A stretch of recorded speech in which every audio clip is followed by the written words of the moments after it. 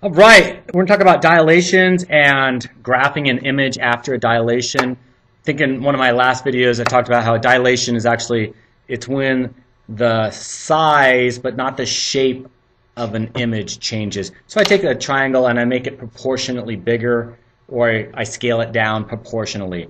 So that's a dilation. So it's really basic to do on a, a piece of graph paper. I'll bring some graph paper in, in a second. Just multiply each value, actually not value, each point. There we go. Just e multiply each point by the scale factor. You just multiply the x and the y. So if I have a, a 3 comma 4, and I want to scale that up by a factor of 2, scale factor of 2, it just becomes 6, 8. There you go.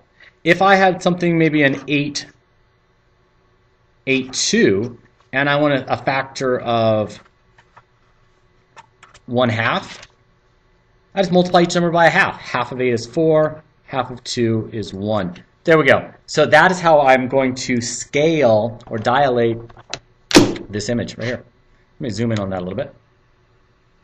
I'm going to take each point, and this one, let's go with a scale factor of 2. Does that work for you? It's pretty easy. So scale factor of 2, let me get a new pen here. Scale factor of 2, write that down right about here. Factor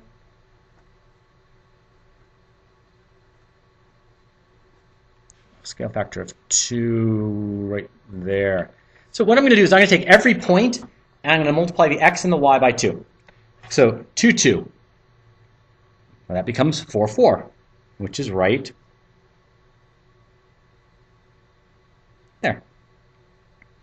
6, 4. That becomes 12, 8. 12, 8. All right, where's 12, 8? This is 6, 7, 8, 9, 10, 11, 12, 8. 1, 2, 3, 4, 5, 6, 7, 8.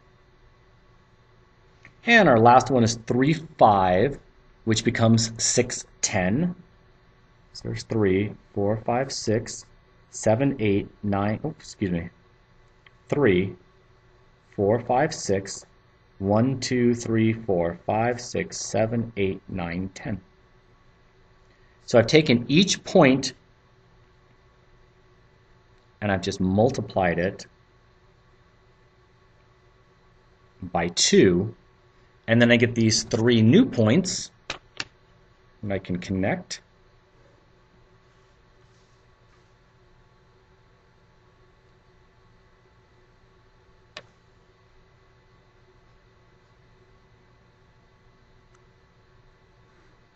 There we go.